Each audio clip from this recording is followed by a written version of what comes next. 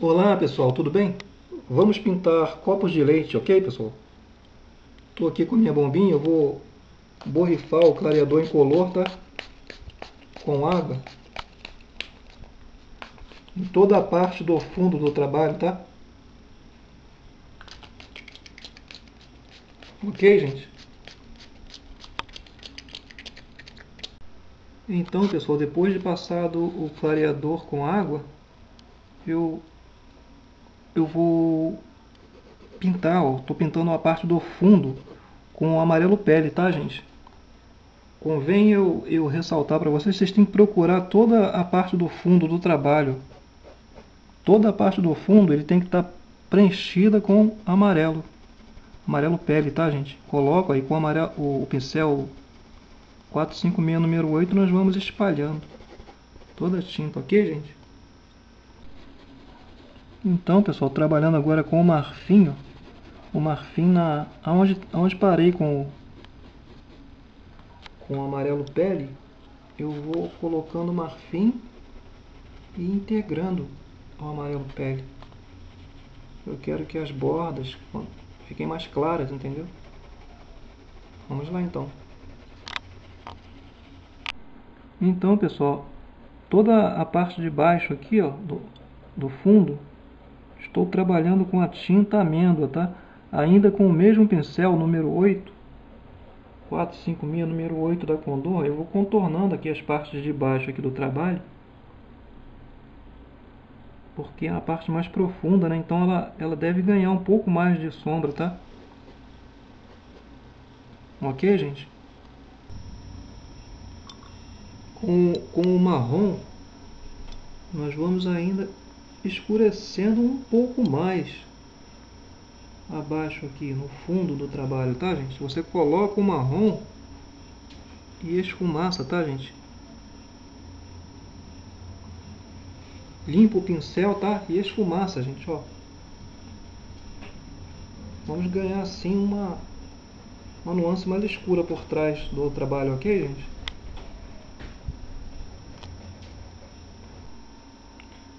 Agora com o pincel ligeiramente borrado com a tinta amêndoa, nós vamos ó, criar assim umas, umas folhagens lá por trás, tá gente? Criando assim detalhes a mais aqui ó, no, no fundo do trabalho, tá? Já estamos alegrando o fundo, tá bom gente?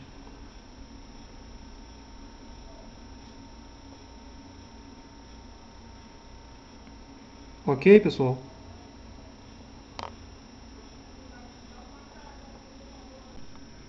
Então, pessoal, com o verde grama, eu, eu vou trabalhar já as folhagens, tá? Ó, tem uma folha aqui por trás, eu trabalho ela primeiro.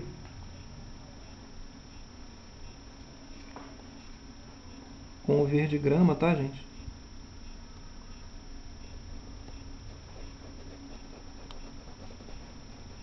E deixo uma parte em branco dessa folha para me clarear, tá gente? Ela tem que estar com as bordas iluminadas. Ok, pessoal? Tem uma folha dobrada aqui por cima dessa folha. Eu já estou adiantando-a com o verde grama, tá, gente? Eu, eu lavo o pincel e seco e vou trabalhar as partes que ficaram em branco dessas folhas com o amarelo, tá? Com o amarelo eu cubro as partes ó, das folhas que ficaram em branco. E integro o verde grama, tá gente? Ó, integro. Integro, esfumaço, ó. Ok, gente? Então, pessoal, eu, eu volto a trabalhar com o verde grama eu vou reforçando as áreas onde eu iniciei com o verde, né? E vou ganhando assim mais nitidez no trabalho para que eu possa trabalhar novamente com outra tinta. Vamos trabalhar com verde grama e reforçar toda a área onde nós trabalhamos com verde grama, tá gente? Agora vamos trabalhar com o verde grama, tá pessoal? O verde grama nós vamos ganhando mais nitidez nas nervuras ó, das folhas. Ó. Aqui vai ter uma dobra, então eu vou fazer uma sombra com o verde grama aqui por baixo. E vou continuando trabalhando as nervuras das folhas.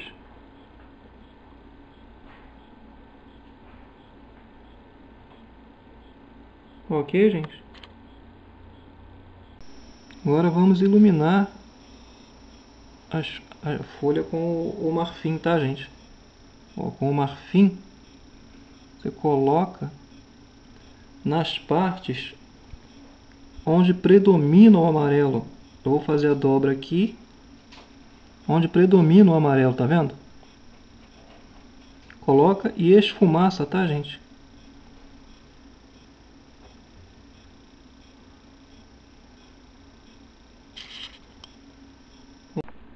Vamos trabalhar ó, as nervuras com o marrom, tá, gente? É por etapas, tá, gente? Eu trabalho por etapas.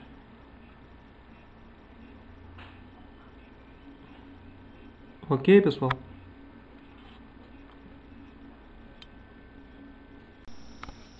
Então, pessoal, trabalhando com verde grama, as outras folhas, o mesmo procedimento adotado, tá?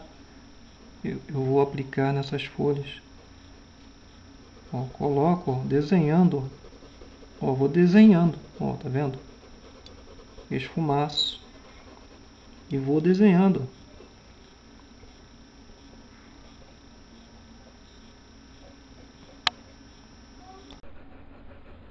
Então, pessoal, com o verde grama, já estou aproveitando e já trabalhando os cabinhos. Ó.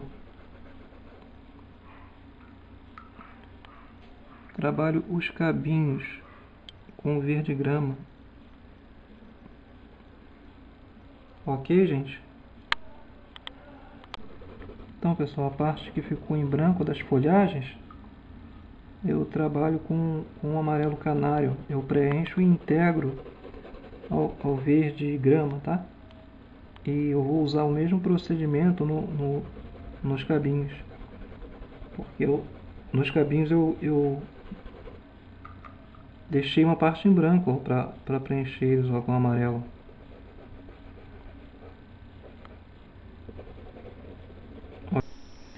Então pessoal eu, eu volto a trabalhar com verde grama vou reforçando as áreas onde onde eu coloquei verde grama e depois com amarelo ele ficou um pouco embaçado. Então eu saio reforçando, tá, gente? Com verde grama, acentuando a cor, tá?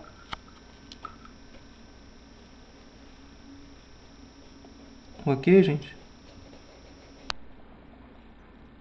Como nos passos da, da primeira folha, pessoal, vamos no mesmo procedimento. Vamos aplicar então o, o verde oliva trabalhando aqui as áreas mais escuras aqui na nervura aqui das folhas, tá? E também, ó, vamos escurecer o cabinho.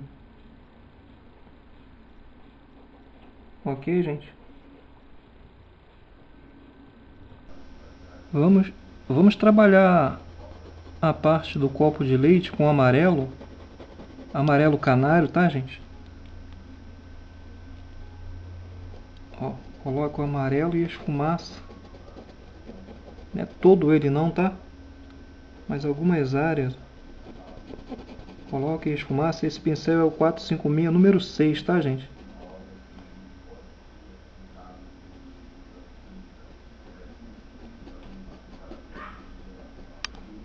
Ok? Aqui o interior aqui do copo do leite também, tá? Com amarelo você pode cobrir aquele cabinho que sai de dentro, pode cobrir ele todo, tá? Ou na saída aqui do, da abertura do copo, você coloca o amarelo e a esfumaça, tá gente? Repetindo, cobrindo o cabinho.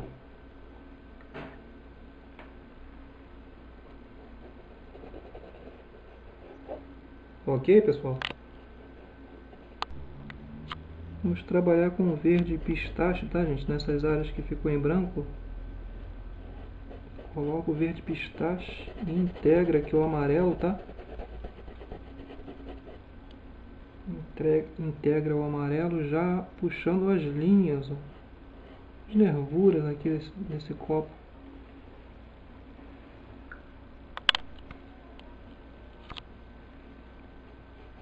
Mesma coisa aqui, ó. Coloco o verde pistache e esfumaça, integrando o amarelo, ok, gente? Então, pessoal, estou passando o clareador em toda a parte branca aqui do copo de leite. Ó.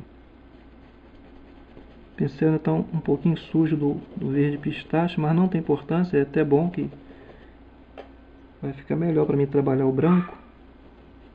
Ó, o, ver, o, o clareador incolor, tá pessoal? Vou passar em toda a parte que será o branco aqui do copo de leite, tá? Ok, gente? Em seguida, eu começo a trabalhar com o branco. Por que o clareador? Porque vai ficar melhor para mim espalhar esse branco, não é? A tinta vai ficar mais fácil de correr aqui no tecido. Eu coloco o branco e esfumaço, tá gente? integro ali o amarelo, toda a parte branca aqui eu vou aplicar o branco, espalhando bastante a tinta, tá gente? Ok, gente? Com o pincel número 6, eu vou fazendo os acabamentos, ó. Vou fazendo assim os acabamentos com o branco, tá, gente?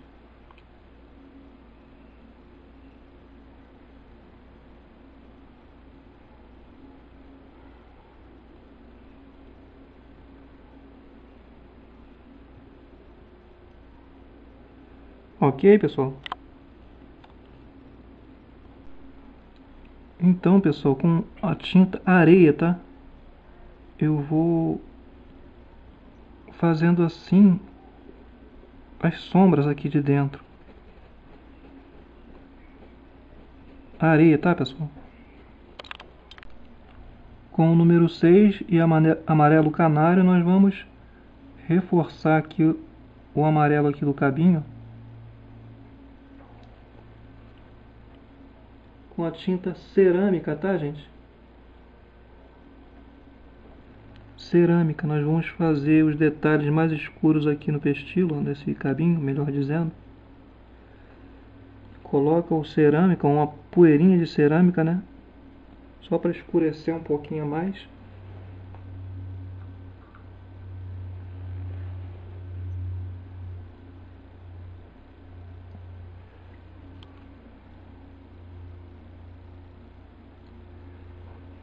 E com o branco,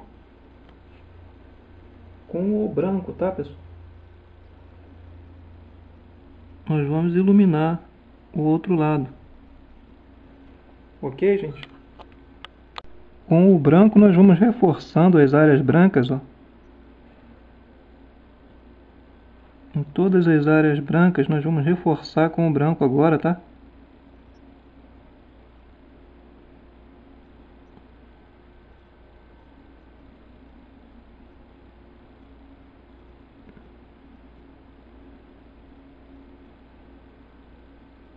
Essa hora você tem que ter bastante atenção, trabalhar com delicadeza, tá pessoal? Para dar bastante naturalidade aqui a flor do copo de leite, tá? Ok? Então pessoal, continuando trabalhando com o amarelo, com, com o branco em cima do amarelo aqui, ó, esfumaços para cima do amarelo canário.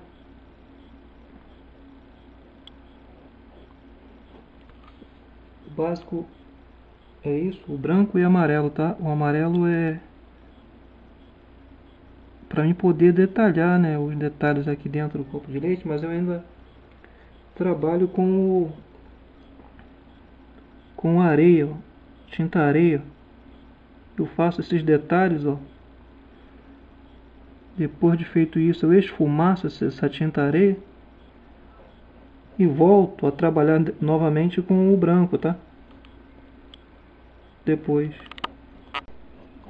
Vamos passar clareador aqui, ó, nesse copo de leite. O pincel ainda está um pouquinho sujo do amarelo. Eu vou espalhando o amarelo com o clareador para que eu possa trabalhar com o branco, tá gente? Todo o detalhe da, do copo de leite, a graça está em trabalhar com paciência o branco, tá? Então pessoal, já estou trabalhando com o branco. Pincel é o número 8, porque esse copo de leite aqui ele é um, ele é um pouco maior do que os demais. Então eu posso trabalhar com o pincel número 8. Eu coloco o branco e esfumaço integro ao amarelo canário, tá? Integro.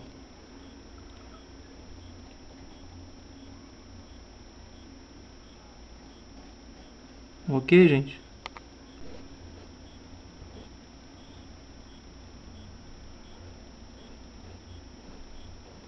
Eu volto a trabalhar com areia, tá vendo? Detalhando aqui a boca do copo de leite. Eu lavo o pincel e volto a trabalhar com o branco, tá, gente? Criando assim os detalhes, tá?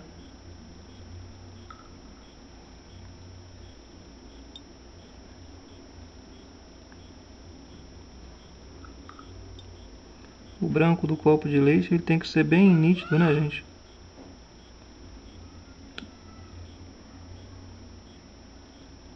Ok, pessoal? Com tinta cerâmica, ó, nós vamos escurecer um lado do cabo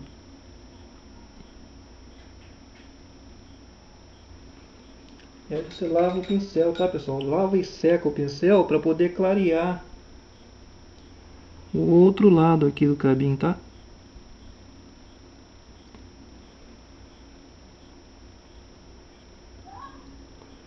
Em seguida, pessoal, é necessário você fazer uma sombra aqui ó, do cabinho, tá? Ok, pessoal? Então, pessoal, está assim terminada mais uma aula de pintura em tecido com o tema de copos de leite, ok?